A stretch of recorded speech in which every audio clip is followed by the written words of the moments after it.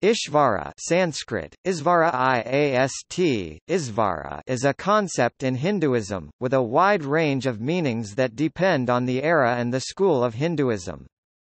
In ancient texts of Indian philosophy, depending on the context, Ishvara can mean supreme soul, ruler, lord, king, queen or husband. In medieval-era Hindu texts, depending on the school of Hinduism, Ishvara means God, supreme being, personal God, or special self. In Shaivism and for almost all Hindus, Ishvara is synonymous with Shiva, sometimes as Maheshvara or Parameshvara meaning the supreme lord, or as an Ishta Deva personal god. For a few Vaishnavists, it is synonymous with Vishnu. In traditional bhakti movements, Ishvara is one or more deities of an individual's preference from Hinduism's polytheistic canon of deities. In modern sectarian movements such as Arya Samaj and Brahmoism, Ishvara takes the form of a monotheistic god. In Yoga school of Hinduism, it is any personal deity or spiritual inspiration in Advaita Vedanta school, Ishvara is a monistic universal absolute that connects and is the oneness in everyone and everything.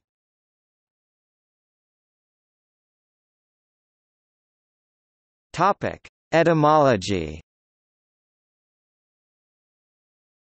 The root of the word Ishvara comes from as Isa Ish, which means capable of, and owner, ruler, chief of. Ultimately cognate with English own Germanic asterisk agana, pi asterisk aik. The second part of the word Ishvara is vara which means depending on context. Best, excellent, beautiful. Choice, wish, blessing, boon, gift. And suitor, lover, one who solicits a girl in marriage.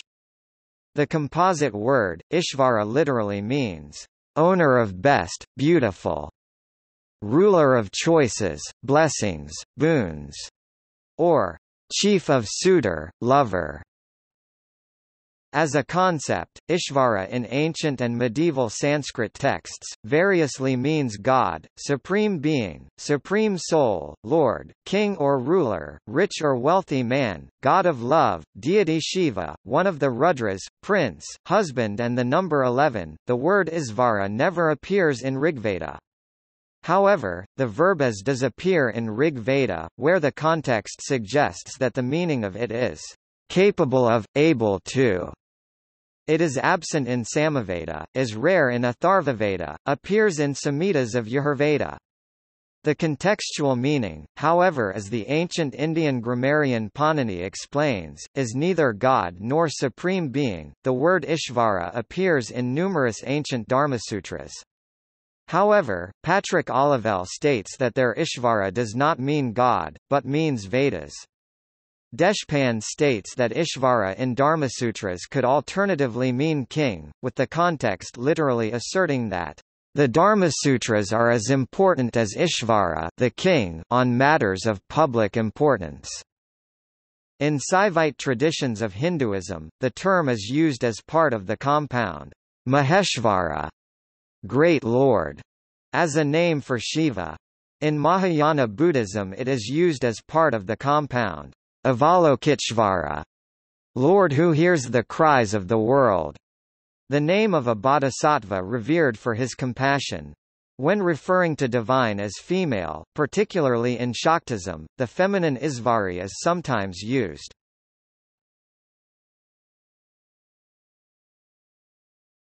Topic: Schools of thought.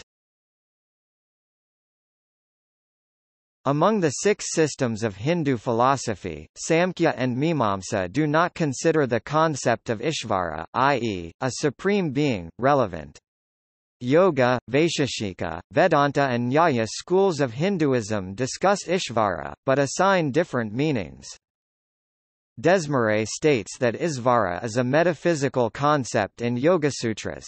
It does not mention deity anywhere, nor does it mention any devotional practices bhakti, nor does it give Ishvara characteristics typically associated with a deity. In Yoga school of Hinduism, states Whicher, Isvara is neither a creator god nor the universal absolute of Advaita Vedanta school of Hinduism. Whicher also notes that some theistic sub-schools of Vedanta philosophy of Hinduism, inspired by the Yoga school, explain the term Ishvara as the supreme being that rules over the cosmos and the individuated beings. Malinar states that in Samkhya Yoga schools of Hinduism, Isvara is neither a creator god, nor a savior god. Zimmer in his 1951 Indian Philosophies book noted that the Bhakti sub-schools refer to Isvara as a divine lord, or the deity of specific Bhakti sub-school. Modern sectarian movements have emphasized Ishvara as Supreme Lord, for example, Hare Krishna movement considers Krishna as the Lord, Arya Samaj and Brahmoism movements, influenced by Christian and Islamic movements in India, conceptualize Ishvara as a monotheistic all-powerful Lord. In traditional theistic sub-schools of Hinduism, such as the Vishishtadvaita Vedanta of Ramanuja and Dvaita Vedanta of Madhva, Ishvara is identified as Lord Vishnu, Narayana, that is distinct from the Prakriti material world and Purusha soul, spirit. Radhakrishnan and more state that these variations in Isvara concept is consistent with Hinduism's notion of personal God, where the Ideals are manifestation of individuals' highest self-values that are esteemed. Riepe, and others, state that schools of Hinduism leave the individual with freedom and choice of conceptualizing Isvara in any meaningful manner he or she wishes, either in the form of deity of one's choice, or formless Brahman absolute reality, universal principle, true special self.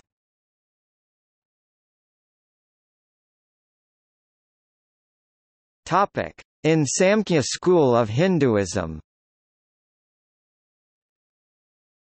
Samkhya is called one of the several major atheistic schools of Hinduism by some scholars. Others, such as Jacobson, Samkhya is more accurately described as non-theistic. Isvara is considered an irrelevant concept, neither defined nor denied, in Samkhya school of Hindu philosophy.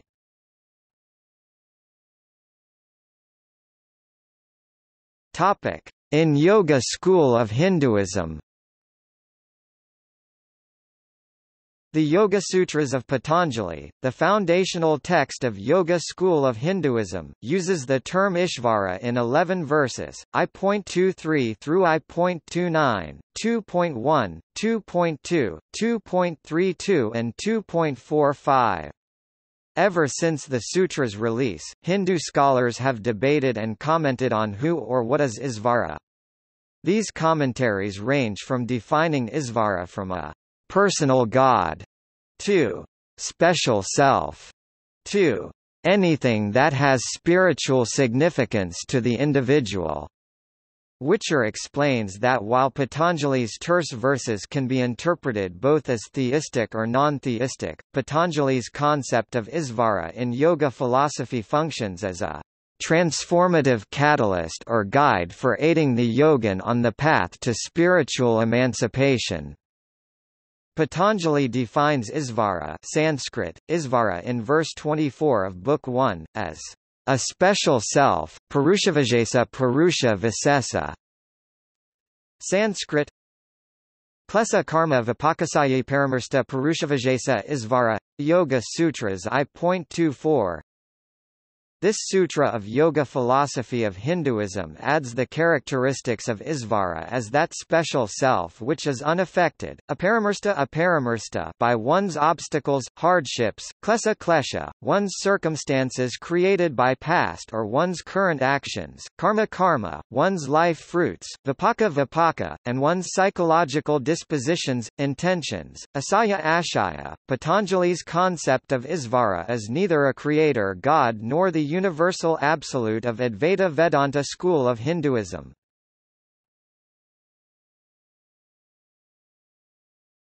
Topic: In Vaisesika school of Hinduism. Vaisesika school of Hinduism, as founded by Kanada in 1st millennium BC, neither required nor relied on Ishvara for its atomistic naturalism philosophy. To it, substances and paramanu atoms were eternal, they moved and interacted based on impersonal, eternal adrsta, adarsta invisible laws of nature. The concept of Ishvara, among others, entered into Vaisheshika school many centuries later in 1st millennium AD. This evolution in ideas aimed to explain how and why its so-called atoms have a particular order and proportions.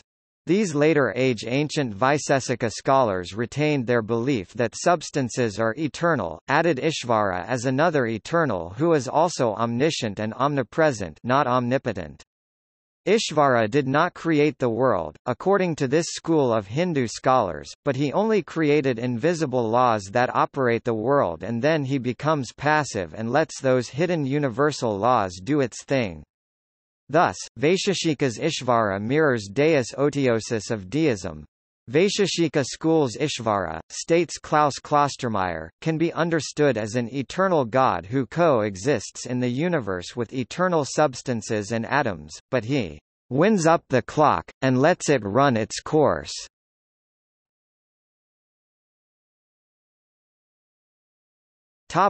In Nyaya school of Hinduism Early Nyaya school scholars considered the hypothesis of Ishvara as a creator god with the power to grant blessings, boons and fruits. However, the early Nyaya scholars rejected this hypothesis, and were non-theistic or atheists.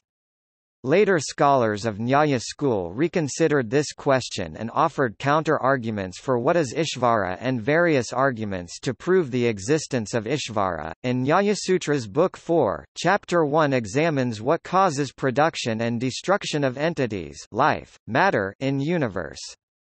It considers many hypotheses, including Ishvara. Verses 19 to 21 postulates Ishvara exists and is the cause, states a consequence of postulate, then presents contrary evidence, and from contradiction concludes that the postulate must be invalid. Sadhanasutra Isvara Karanam Purusa Karmaphalyadarsanat Purvapaksa Na Purusa Karmabhave Flanaspata Sadhanasutra Takaritatvadah Proposition Sutra, Ishvara is the cause, since we see sometimes human action lacks fruits results. Prima facie objection sutra, this is not so since, as a matter of fact, no fruit is accomplished without human action.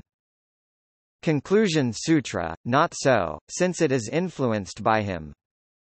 Centuries later, the 5th century CE Nyaya school scholar Prashastapada revisited the premise of Ishvara. He was followed by Udayana, who in his text Nyayakusumanjali, interpreted it in verse 4.1.21 of Nyaya Sutra above, as human action, and him as Ishvara. Then he developed counter-arguments to prove the existence of Ishvara. In developing his arguments, he inherently defined Ishvara as efficient cause, omnipotent, omniscient, infallible, giver of gifts, ability and meaning to humanity, divine creator of the world as well as the moral principles, and the unseen power that makes the karma doctrine work.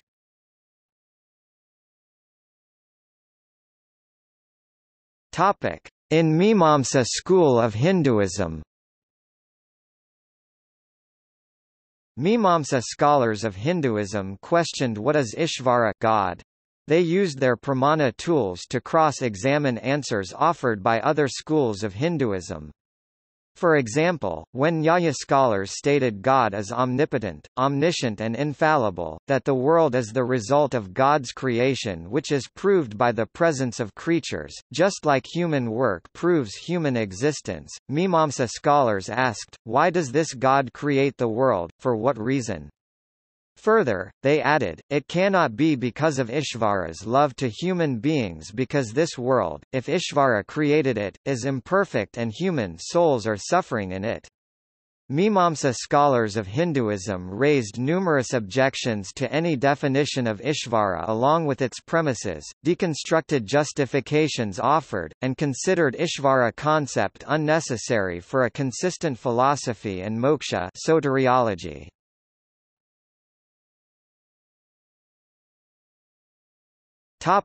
In Vedanta school of Hinduism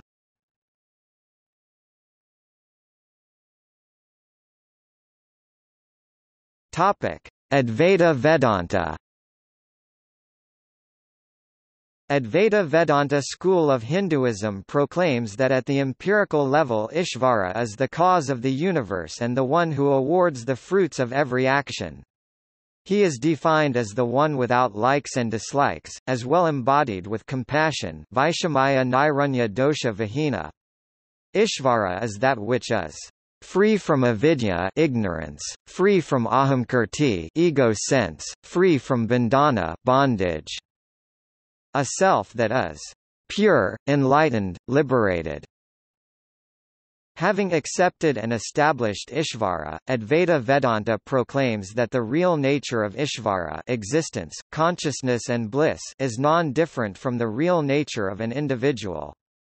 This gives room in Advaita Vedanta to show the nature of Ishvara as both the material and instrumental cause of this universe and the individual who is limited in his own capacities as unreal and declare that there is oneness between the two having negated the qualities. This establishes Ishvara as saguna or with attributes from the empirical existence and nirguna from the absolute sense. This oneness is accepted only at the level of mukti or ultimate realization and not at the vyavahara or empirical level. At the absolute level there is no otherness nor distinction between jiva living being and ishvara, and any attempts to distinguish the two is a false idea, one based on wrong knowledge, according to Advaita Vedanta. Isvara aham ishvara, I am. Other Advaitin Hindu texts resonate with the monist views of Adi Shankara. For example, Isa Upanishad, in hymn 1.5-7, states Ishvara is above everything, outside everything, beyond everything, yet also within everything. He who knows himself as all beings and all beings as himself, he never becomes alarmed before anyone. He becomes free from fears, from delusions, from root cause of evil. He becomes pure, invulnerable, unified, free from evil, true to truth, liberated like Ishvara.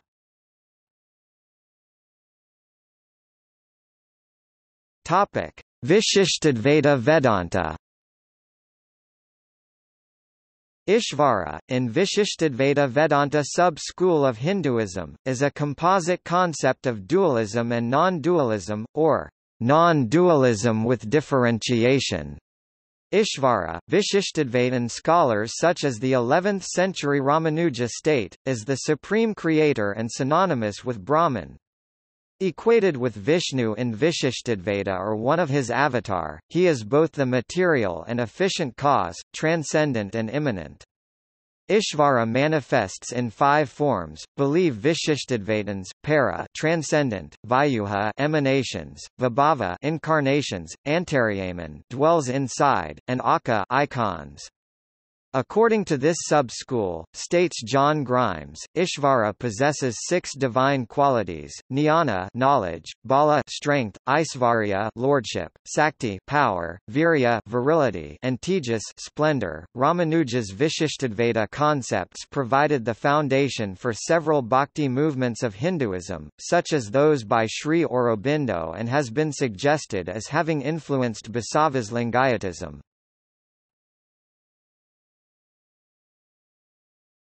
Topic: Dvaita Vedanta. The Dvaita dualism sub-school of Vedanta Hinduism, founded by 13th-century Madhva, defines Ishvara as creator god that is distinct from jiva individual souls in living beings. Narayana Vishnu is considered to be Ishvara, and the Vaishnavism movement arose on the foundation developed by Dvaita Vedanta sub-school. Ishvara God is a complete, perfect and the highest reality to Dvaitins, and simultaneously the world is separate reality for them, unlike competing thoughts in other sub-schools of Vedanta. In Dvaita sub-school, Jiva individual soul is different, yet dependent on Ishvara God. Both possess the attributes of consciousness, bliss and existence, but the individual soul is considered atomic, while God is all-encompassing. The attributes of jiva struggle to manifest, while of God it is fully manifested. Madhva states there are five permutations of differences between jiva individual souls and Ishvara God, between God and souls, between God and matter, between souls and matter, between one soul and another soul, and between one material thing and another material thing. The differences are both qualitative and quantitative. Unlike Advaita Vedantins who hold that knowledge can lead to oneness with everyone and fusion with universal absolute, to the state of moksha in this life, Dvaita Vedantins hold that moksha is possible only in afterlife if God so wills if not, then one's soul is reborn. Further, Madhva highlights that God creates individual souls, but the individual soul never was and never will become one with God. The best it can do is to experience bliss by getting infinitely close to God. The world, called Maya, is held as the divine will of Ishvara. Jiva suffers, experiences misery and bondage, state Dvaitins, because of ignorance and incorrect knowledge. Aniyana. Liberation occurs with the correct knowledge and attainment unto Lord Narayana. It is His grace that gives salvation according to Dvaita sub-school, which is achievable by predominance of sattva guna moral, constructive, simple, kindness-filled life, and therefore Dvaitins must live a dharmic life while constantly remembering, deeply loving Ishvara.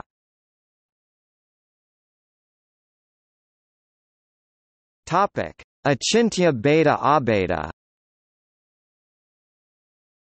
Achintya Bheda Beta is a sub-school of Vedanta representing the philosophy of inconceivable oneness and difference, in relation to the power creation and creator, Ishvara, Krishna. In Sanskrit Achintya means inconceivable, Bheda translates as difference, and Abheda translates as oneness. Spirit souls are considered part of God and thus one with Him in quality, and yet at the same time different from Him in quantity. This is called Achintya Bheda Abheda Tattva, inconceivable, simultaneous oneness and difference. Caitanya's philosophy of Achintya Bheda Beta Tattva completed the progression to devotional theism. Ramanuja had agreed with Sankara that the absolute is one only, but he had disagreed by affirming individual variety within that oneness.